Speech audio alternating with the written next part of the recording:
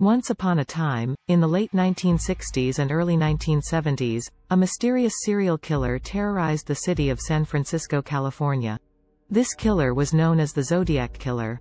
The Zodiac Killer was responsible for five confirmed murders but is believed to have committed many more. The Zodiac Killer was never caught, and the case remains unsolved. The first known murder attributed to the Zodiac Killer was committed on December 20, 1968. A young couple, David Faraday and Betty Lou Jensen, were on a date when they were killed in a remote area of Vallejo, California. A few months later, another young couple, Darlene Ferrin and Michael Mageau, were shot while parked in their car.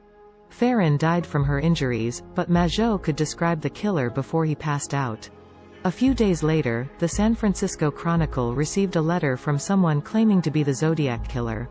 The letter contained a cryptogram, a type of puzzle where letters are replaced with symbols, and the killer claimed that he would reveal his identity if the mystery were solved.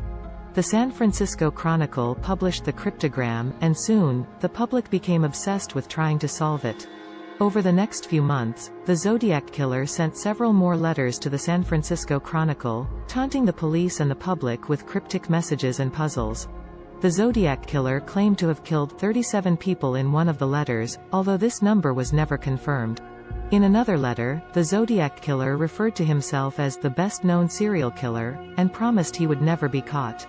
Despite the efforts of the police and the public, the cryptograms sent by the Zodiac Killer were never fully solved.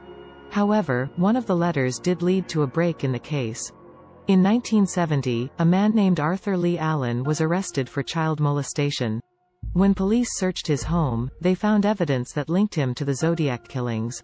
However, Allen was never formally charged with the murders and died in 1992 without ever confessing. For many years, the case of the Zodiac Killer remained one of the most famous unsolved crimes in American history. Over the years, several books, movies, and television shows have been made about the case, and the mystery of the Zodiac Killer continues to captivate people worldwide. However, despite the public's fascination with the case, the identity of the Zodiac Killer remains unknown. Some people believe that the Zodiac Killer was a person with a troubled past seeking attention and fame, while others think that the Zodiac Killer was a sadistic killer who was never caught.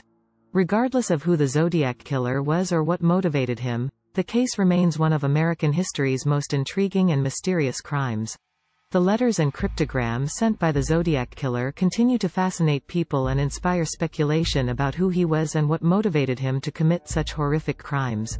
In conclusion, the case of the Zodiac Killer is a cautionary tale about the dangers of obsession and the power of the human mind.